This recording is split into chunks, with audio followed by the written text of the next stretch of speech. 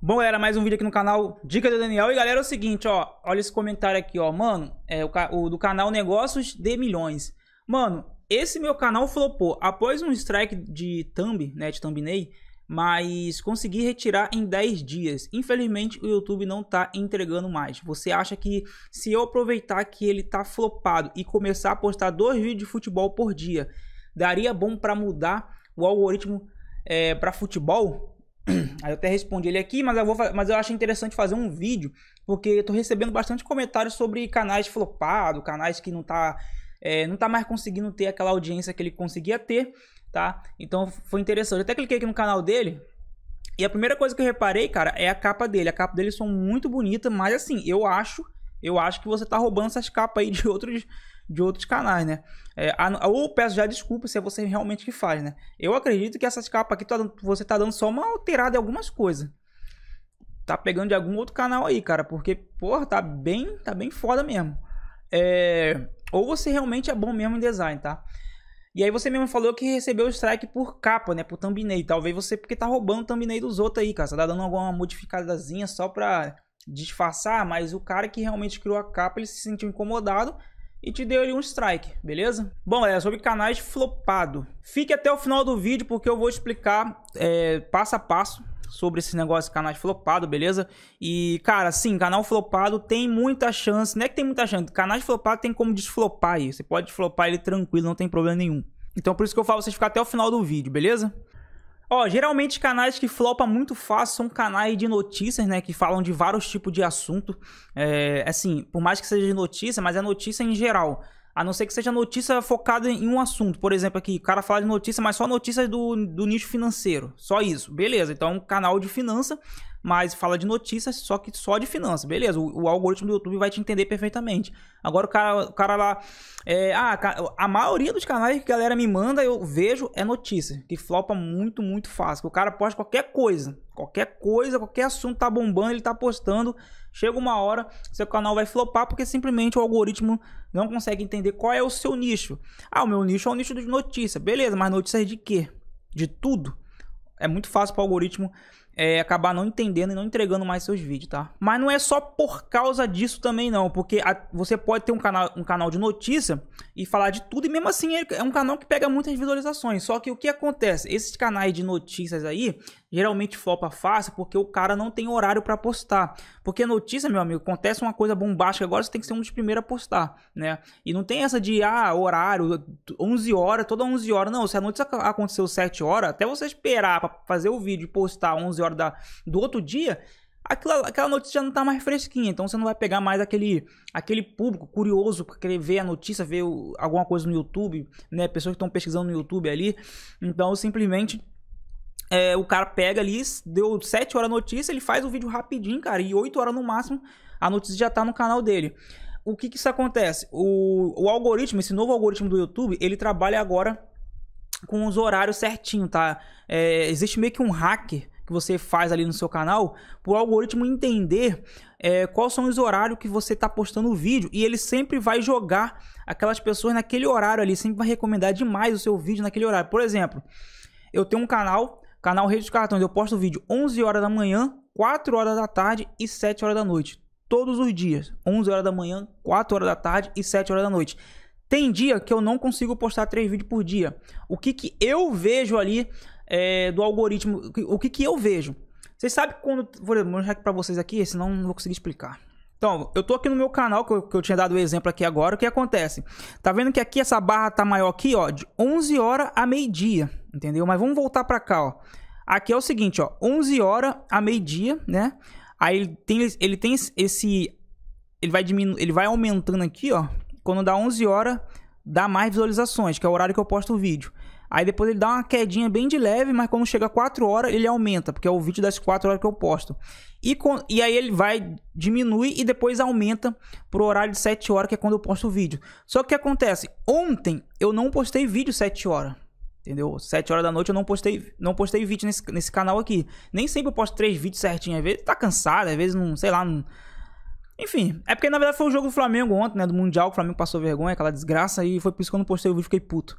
Aí o que acontece? Eu não postei vídeo aqui. Só que mesmo assim, o algoritmo me deu bastante visualizações. Por que ele fez isso? Porque ele eu, é meio que um hack, eu não sei, eu não sei te explicar muito bem, mas todos os canais que eu faço isso acontece. Esse canal aqui mesmo que vocês estão me assistindo também acontece. Geralmente ali meio-dia, que eu, eu tava postando um vídeo aqui meio-dia é, e 4 horas da tarde, né? Meio-dia e 4 horas da tarde. Então, sempre nesses horários aí, o algoritmo me entrega um monte de visualizações, tá? Mesmo eu não postando o vídeo. Agora eu tô postando vídeo mais à tarde, porque realmente ficou, tá ficando um pouco pesado para mim. Eu falei, agora vou postar vídeo só à tarde. Aí eu meio que eu tô mudando agora o hack. O, o algoritmo agora vai tá entendendo que eu tô postando vídeo só à tarde. Então ele vai me entregar mais à tarde as visualizações. Mesmo se eu não postar o vídeo. Tá? Tá, mas o que eu tô querendo dizer com tudo isso? O que eu tô querendo dizer com tudo isso, cara, é que canais de notícia é mais fácil flopar porque você sai postando vídeo em qualquer horário. Você não tem um horário certinho, entende? Então, se você vai fazer um canal de notícia, cara, porra três vídeos por dia naquele horário, não interessa o que acontece, tá? É certo que se você postar nesse horário aqui, canal de notícia, vai dar muito certo para você, mesmo qualquer notícia acontecendo em qualquer horário, você vai conseguir postar a notícia fresquinha. 11 horas da manhã, 4 ou 5 horas da tarde e o outro 9 horas da noite. Por quê? Cara, se você se acontecer uma notícia 7 horas da manhã, 8 horas da manhã, tem muita gente que tá dormindo, tá indo trabalhar, muita gente não tá acompanhando aquela notícia, entende? Pode ser a coisa mais bombástica do mundo que acontecer. Muita gente ainda não tá, não tá é, vendo o que, que aconteceu.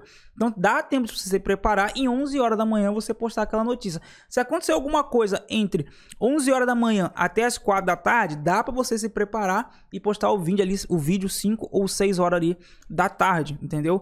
Se acontecer alguma coisa entre 6 horas até 8 horas da noite, você consegue postar o vídeo 9 horas ou 10 horas, ou se quiser postar 11 horas, meia-noite, sei lá, entendeu? Mas tem que ser sempre horário certinho para o algoritmo entender como funciona o seu canal. Senão, cara, vai dar ruim, vai dar, vai flopar, vai flopar, beleza? E não pode ser mais de 3 vídeos por dia, porque é, o que acontece? O, o, o YouTube, ele não entrega o quarto vídeo em 24 horas, entendeu? Não entrega para sua audiência, né, no caso. Ele pode entregar para o caso na plataforma, distribuir na plataforma, mas para sua audiência ele não entrega o quarto vídeo postado em 24 horas. Isso é ruim, porque é a sua audiência que dá o primeiro o primeiro análise para o algoritmo entender que, seus vídeos realmente, que o seu vídeo realmente é bom. E aí é onde ele vai começar a distribuir para outras pessoas, tá? Por isso que você tem que ter um dia e um horário certo para postar vídeo no seu canal, senão ele vai flopar, cara. Ele vai, não adianta, ele vai flopar ele vai chegar no momento que ele vai flopar. É, se você não consegue postar um, dois vídeos por dia, um vídeo por dia, que seja pelo menos segunda, quarta e sexta, meio-dia. Você tem que fazer isso para o algoritmo entender, cara. Entender como funciona o seu canal. E ele sempre vai te entregar segunda, quarta e sexta mais visualizações no horário de meio-dia. Ele vai entregar mais view para você, mesmo se você não postar vídeo. Depois de você já ficar numa frequência, ele entender qual é a sua frequência. Beleza? Se você fizer tudo isso e mesmo assim não der certo, aí o seu canal nem com flopou, já tá numa uma blacklist, uma lista ali bem bem pesada ali o, o, o algoritmo, o, o, YouTube ele meio que ele não quer nem mais que você faça vídeos, mas para não excluir o seu canal, porque não tem motivo para excluir seu canal, até mesmo se protegendo de processo, eles vão te colocar numa blacklist onde, cara, só quem consegue ver você, só quem foi inscrito mesmo no seu canal, só quem é inscrito. Quem não é, não vai te achar nunca. Aí nesse caso, teve um amigo meu que fez. O que, que ele fez? Ele mudou o nome do canal e mudou o, o, o link, né? Aquele. No final do, do todo o canal, você pode, quando bate ser inscrito, você pode colocar um nome, colocar um link, né? O nome do seu canal no link. Aí vai ficar barra youtube.com é, é, youtube.com barra o nome do seu canal, entendeu? Aí ele mudou aquilo ali. Eu não sei se tem como mudar aquilo ali mais, tá? Eu sei que dá para mudar. Agora eu acho que não tem como mais mudar. Eu não sei. Qualquer coisa vocês vão lá em biblioteca. É biblioteca? Não, é personalização. No YouTube vai aqui informações básicas. Isso. Identificador, tá vendo? Ah, tá. É o identificador. Parece que tem como mudar sim. Eu cliquei aqui. Parece que tem como mudar. Mas só se você fizer tudo aquilo que eu acabei de falar antes e realmente não não tá crescendo, não tá, não tá indo para frente, Aí o seu canal não tá nem flopado, não. Ele já tá numa blacklist aí. Você vai ter que mudar o nome e o algoritmo. Recomendo mudar aí tudo, beleza? Se possível, muda até algumas coisas do seu título dos vídeos, porque ele vai identificar que você mudou o nome e o vídeo que te deu problema ele vai identificar com um novo algoritmo, aí vai te dar problema de novo. Mas sobre os canais flopados é o seguinte, cara, o que, o que acontece? Para quem não sabe o que é flopar, eu tenho explicado no início, né? Flopar é quando o algoritmo meio que esquece o seu canal. Eu falei isso no início, né? Que o, o, o YouTube não entende o seu conteúdo. Então ele meio que esquece seu canal, para de entregar é, os seus vídeos para outras pessoas. E o que, que eu tô reparando, muitas pessoas estão tendo canais flopados, geralmente é tudo aquilo que eu falei antes e também estão criando vários canais de vários tipos de nicho porque viu canais da pessoas, né, falando sobre canais dark, ensinando a ganhar dinheiro com canais dark. Aí a pessoa cresceu o olho, né, para ganhar mais dinheiro. Tá certo, tem que ganhar dinheiro mesmo, só que tem que ser com estratégia, tem que ser com, com a mente, né? E aí começou a criar vários canais aí com vários nichos diferentes para ver qual nicho ia, ia, é, ia, ia bombar para ter vários canais, ganhar muito dinheiro, e ele não consegue dar atenção certinho para cada canal, e ele sai criando nicho que nem entende, cara. O que que eu faço? Como eu trabalho? Eu tô falando eu faço assim. Eu tenho vários canais no YouTube, mas todos os meus canais é o mesmo nicho, cara. O único canal meu que não é do mesmo nicho é esse canal aqui, que é de marketing.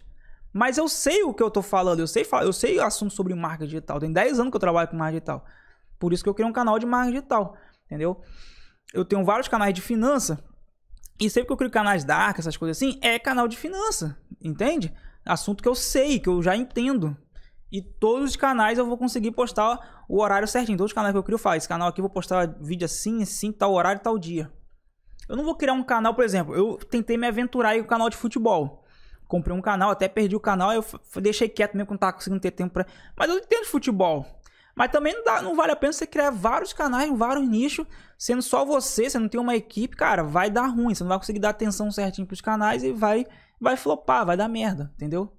Por isso que eu tenho esse cenário aqui, ele é um cenário meio que de. Eu sei que tem algumas coisinhas aqui, por exemplo, isso aqui tem nada a ver com finança, eu sei.